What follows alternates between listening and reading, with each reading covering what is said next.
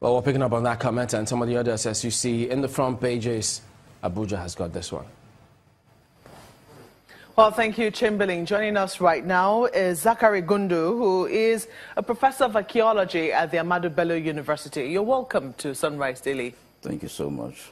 Good morning. Good morning. If there's anything we can all agree on, I mean, there's a common thread running through all of the discourse that we have heard so far. It is that these killings are senseless and that government has done very little or nothing uh, to stop them. Or maybe what it is doing, we're yet to see because uh, the killings and the divisions are still running ri riot and um, it doesn't seem like it's going to come to an end. Try to help us make sense of what your reading of all that has been happening is. Well, in a way, if you are the victim, the killings are senseless. But if you are the one doing the killing, it makes sense. Um, a lot of Nigerians don't appreciate our history.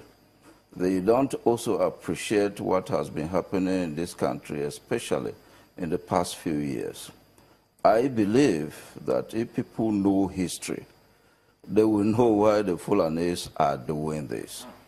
If people know our recent history, they will know that there is an attempt to grab a lot of land from the people of this country for the Fulani of the whole world.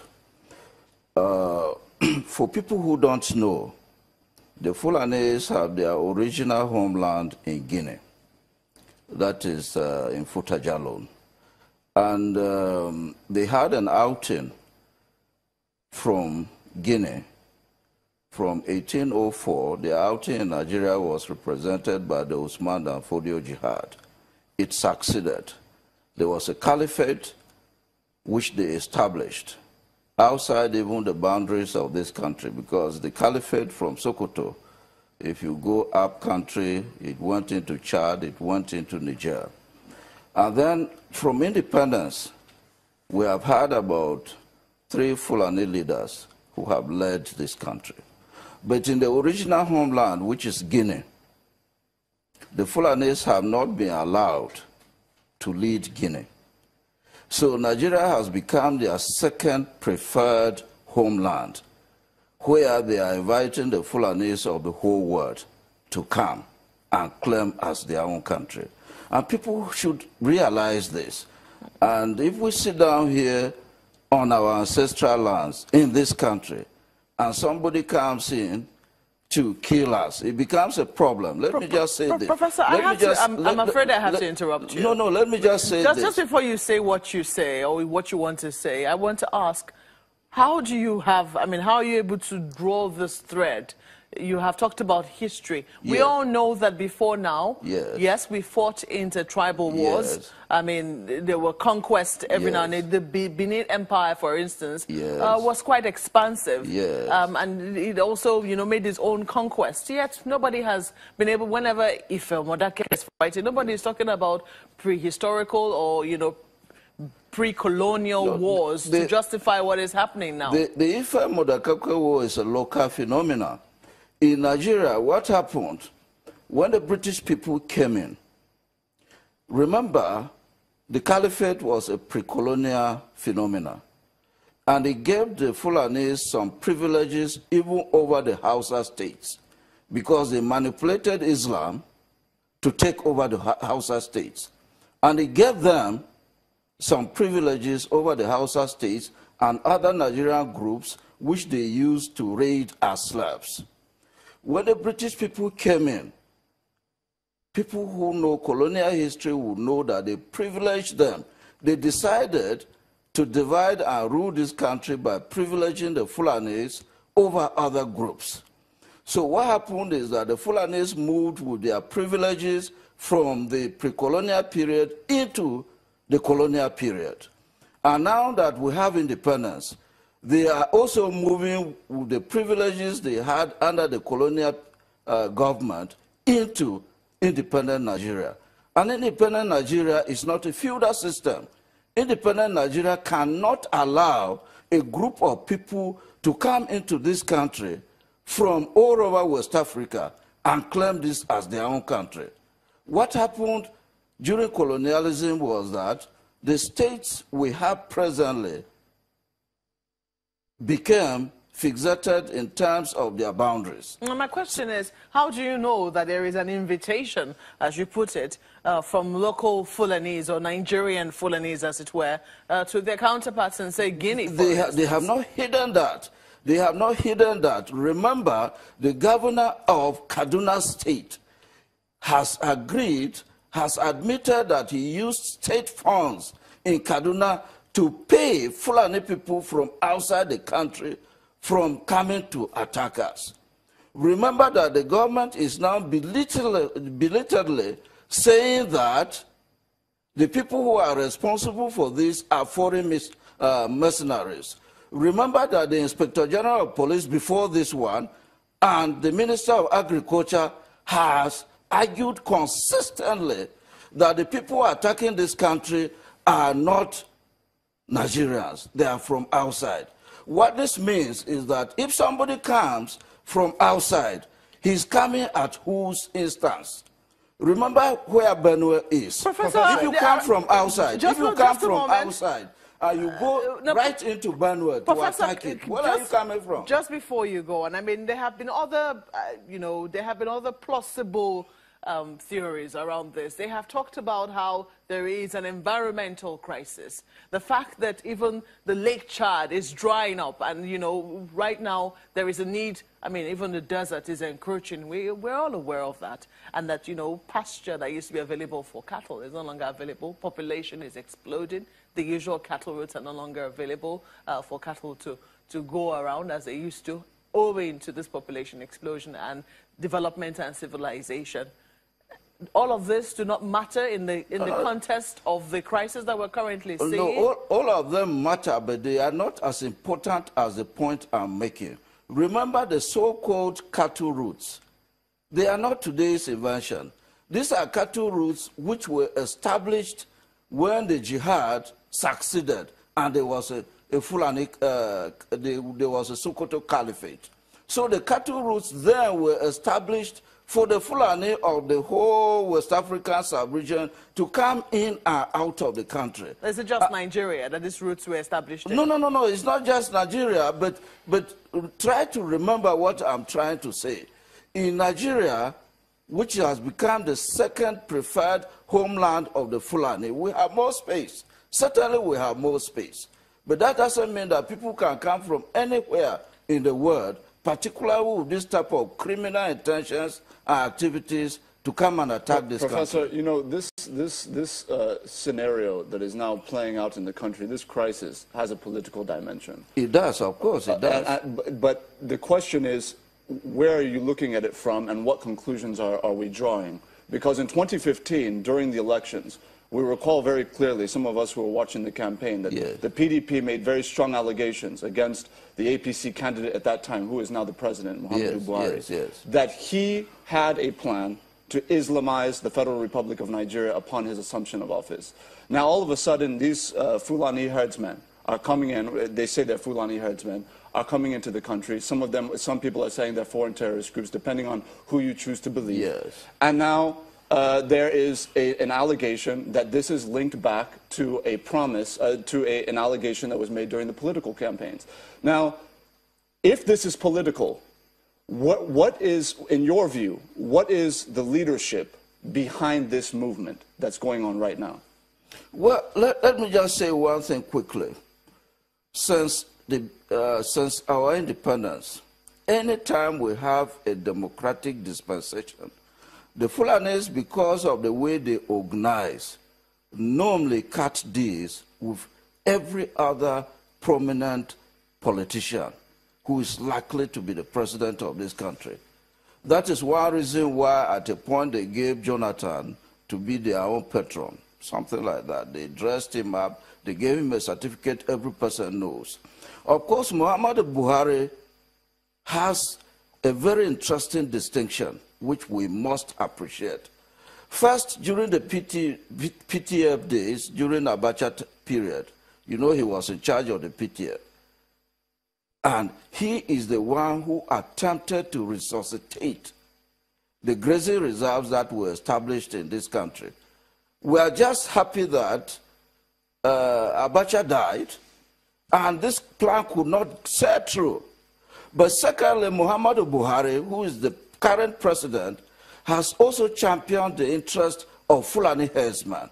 At a point from a few years back, he went to Oyo, and he was trying to query the state governor then why the Fulani people were killed in Oyo State. As a statesman, he was doing that. And then currently, if he's the president, other Fulani interests have actually said that they put him there. So if this thing is happening and he I mean, is not in a say, position, let me just make this point, sorry, please, Professor, please. I, I mean, don't. I, I, let me just make this point quickly. I, am afraid quickly. I have to interrupt you, okay, Professor, you. because I mean some of the things that you have said we are, we are all here in, in, this country. I mean, you also have to be very circumspect, the things that we're saying. I mean, when we talk about empirical evidence, when you say that a group of people put the president there. Well, they claim, they claim so. They, they claim, claim, so. but you were they this. So. I mean, I want to believe that you're not stranger to this country. Yes. Yeah, you, you've been in Ahmadu Bello yes. University. The president has contested a number of times. Yes. And it was at this last time that he won. Yes. And it was uh, through elections that yes, were he did, he did, he that did, were said to be credible. So when he you did. say that a group of people put the president there, should we really be going with insinuations like that? No, where the insinuations, if, if, if a president comes, this herdsman crisis is actually threatening the future of this country. And tell me just one single thing which this president has said, which will convince every Nigerian that he takes the lives of Nigerians as a priority.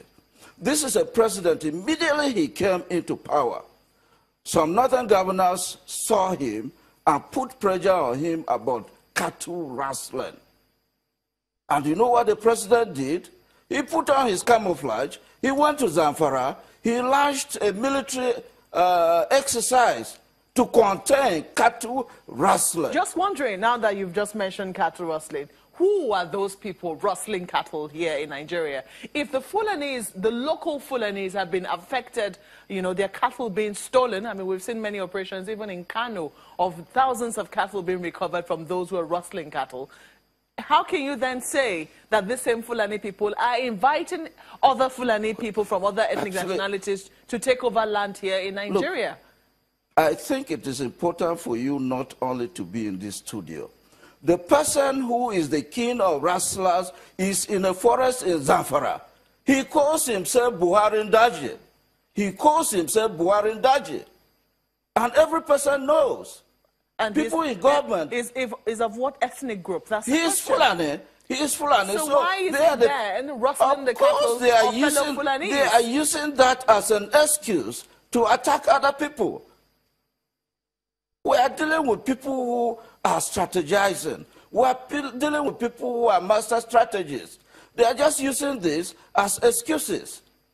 Professor, you know, this morning there has been some specificity now attached to the notion that foreigners have invaded Nigeria. Yes. Now, they have now specifically stated it is Islamic State, according to security reports. In your view, is this something that has multiple strands, or is it just uh, is it just very kind of single-stranded when you talk about the factors that have come together? Uh, I'm sorry, when you talk about the forces that have come in purportedly into Nigeria to create this kind of mayhem. Well, I have made my point. I'm not a security person. I'm just a teacher. But the truth of the matter is that this thing has been going on consistently for several years. It is just very sad and unfortunate, but that's how Nigeria works. That the security people will be coming now belatedly when the attention of every person is being drawn to this fact, and every person is becoming quite, quite clear on the fact that if we are not careful, this will lead to the destruction of this country. The point I'm making is that even in the past, we knew that the people who were coming in were foreigners. They were foreign elements.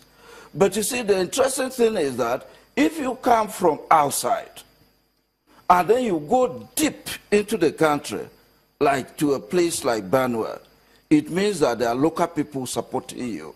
And we know that the people who have been attacking Benue have been attacking Benue from uh, the, the, the state that is uh, uh, neighboring to Benue. They come in and they attack Benue through Awe and through Doma. Professor, if we agree that this, these, these, these terrorist incidents are, are as a result of the movement of these people permeating through the country, does it not, just by logic, does it not make sense to create settlements where these people would have to be uh, contained, essentially, in various states through this cattle colony approach? No, no, no. The cattle colony is just rubbish. It's, it's, it's extremely rubbish. Mm. Uh, what we have done in Benue, and people, people, we are in Benue, so we support what has been done. If you want to produce livestock, keep them in ranches. That is the way to go. The Fulani cow, we eat it just because we have no choice. Otherwise, the meat is not good. Because you can't take a cow from outside the country, you trek with a cow to Lagos, to Port Harcourt, and expect quality meat. You can't do that. You cannot expect quality milk and other dairy products from that type of cow. You have to ranch a cow. If you ranch a cow, then you can provide good feeding for the cow. You can also provide good health facilities for the cow. So the way to go is just to do ranching. Mm, there are people who say that this ranching is uh, just a facade. In other words, you know, the people who actually need the land will never get the land. When this type of suspicion and animosity, as it were, reigns against a particular group of people or reigns around them, how, you know, certain is it that they will be able to that, get that, that, land? That, that is not true. If you go to Mambila, uh, the people who have bought land in Mambila are the rich people of this country. It is the rich people who keep, who own the cattle.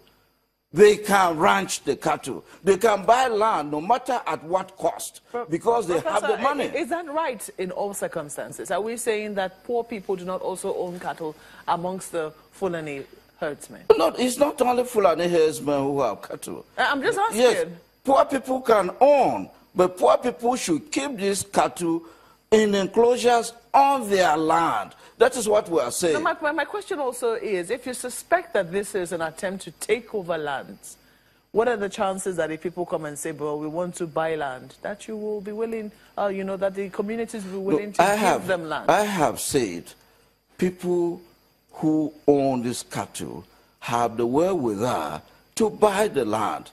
And they have bought land in this country for other purposes. So why is it difficult for them to buy land for ranching? And these people are who? You talked about the rich men in this country. Are they all Fulani? They are not all Fulani, but the Fulani people who own cattle have sufficient money to buy land. Let me just give you, let me give you an example, something you may not know. There's an NGO in Kaduna called the Pastoral Reserve. Called the Pastoral Reserve. In the past five years or so, the Pastoral Reserve has put together about five billion, according to them, to try to establish grazing reserves in some states of the country. If you have 5 billion naira there, why wouldn't you talk about uh, uh, establishing ranches? I'm curious, Professor. If you say then that this is about political power, this is about finding a home for the Fulanese, I mean, making Nigeria their second yes. home. How does ranching solve that political problem? For us in Benue, what the governor has consistently said and what we believe is the correct position is that there's no land to give the Fulanis of the whole world just to come and be grazing indiscriminately. If they have to graze in Benue, it has to be on ranches. They have killed too many of our people. They have caused a lot of problems. And mind you, even the people who are not killed, if you destroy their farms, if you destroy their homes, it means that it is genocide. Professor, we are Professor, talking about. Professor, when you say they, essentially what you're doing is painting a very broad stroke over a number of people, and that can be very dangerous. Because if, we, if, if, if nativist tendencies emerge and we begin to say they, all of, so all of these people is, are now terrorists, it is not, it's it, very, it, very it dangerous it is not antithetical to national it's, unity. It's, it's, not, it's not dangerous. It's not dangerous because the umbrella bodies of the Fulani have indirectly claimed responsibility for this. They have threatened everybody. They have said blood will flow. And then the patrons of these Fulani groups, who are ranking traditional rulers, have also supported them.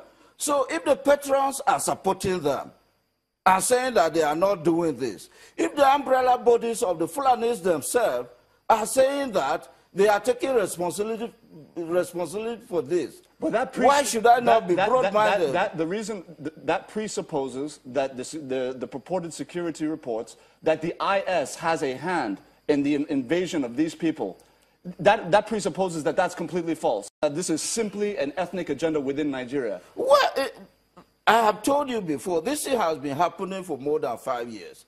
Where were these security people when this thing was happening? Why are they bringing this report just uh, yesterday? But I've told you I'm not a security person. But I doubt why they are bringing this security report now. Why are they bringing it now? I have one final question, Professor. If this is indeed, as you say, an ethnic agenda amongst actors within this country, why is it that th these people have been doing what they've been doing now for decades, really for centuries, and all of a sudden it's becoming extremely violent? Well, it's becoming extremely violent because they are being emboldened. They are important. I told you that they strike this with every presidential candidate or every president that comes into the country. So as they strike these days, things work for them. They started this in the plateau. And they boasted that they will go to Benue. They have come to Benue. They are in all parts of the country. The whole idea is just to choke the country. Once you choke the country, then people will be afraid and say that let us just stop this violence and give uh, these colonies and give these reserves. Remember, Audu Ogbeh was not talking about colonies when he came first. He was talking about grasses to come from Brazil, forgetting that they have developed grasses in this country in agricultural research institutes that are good for this herdsman. When the grasses thing failed, he went to grazing reserves and stock routes. When that one failed, he's not talking about colonies. There's only one uh, example or template of uh, colonies in this world. It is in Pakistan. And we, we, we, we, the man doesn't really know what he's talking about. Professor, he doesn't. Ma the Miyetti Allah have claimed, uh, they've made an unverified claim that 800 of their people have been killed and that nobody's talking about it. What do you have to say about that? Well, I don't know. They are talking about what happened uh, in some other state, not in Benue. But let me tell you one thing. Let me just tell you one thing. If this country is to survive and develop as a prosperous country, even one life is important. If for whatever reasons they killed so many of their people and they didn't want to talk, if they kill my brother, just one person, I should talk if I'm able to talk. So I don't know why they didn't talk. I can't hold forth for them. But the important thing is that the lives of citizens of this country are very important. And I think, I think that Fulani people, particularly those who are herding cows in the bush, they must thank Governor Samuel Ortom for liberating them. Because two questions are important if their liberation must be complete. Why is it that the children of emirs the children of Fulani politicians and the children of Fulani technocrats, why are they not herding cows with them in the bush? Mm. Why are the children of these big people not fighting in the bush for Fulani rights? Mm. Why? Oh, Professor, that's where we'll have to leave it. Professor Zachary Gundu is a professor of archaeology at the Ahmadu Bello University.